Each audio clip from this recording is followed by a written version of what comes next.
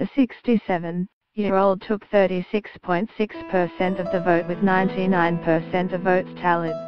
Independent Senator Guillier, 64, who represented outgoing President Michelle Bachelet's centre-left coalition, received 22.6% of the vote.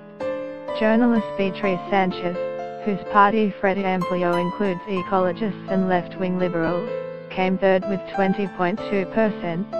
The fourth, among a total of eight candidates, was right-winger Jose Antonio Cast with 7.9% of the vote.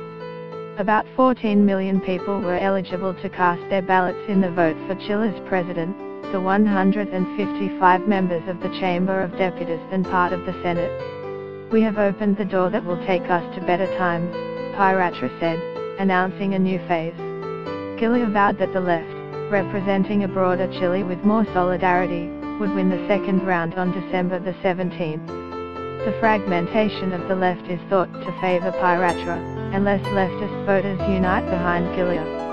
Should Pinera win in the December runoff, it would be the second time Chileans elected a conservative president since the end of Augusto Pinochet's military dictatorship in 1990.